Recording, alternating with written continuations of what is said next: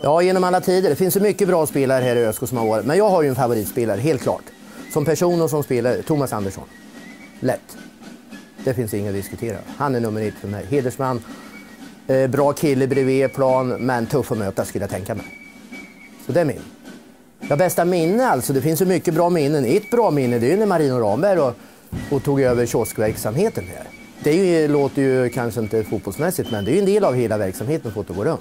Sköter ett mycket bra görande. Smidig att jobba med. Det tycker jag är ett starkt minne. Det har jag med mig.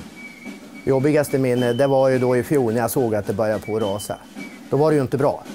Nej, långt ifrån bra. Så det var, det var, man trodde ju på det, va? men eh, tyvärr så gick det ju inte.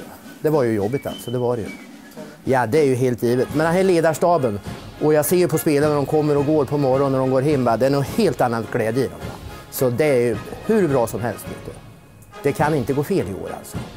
Så jag börjar redan att se det här SM-guldet de har pratat om 2015. Det finns där någonstans. Du vet, det är inte många lag som kan hota oss i år, tror jag. Ja, det finns ju inga alternativ i stan överhuvudtaget.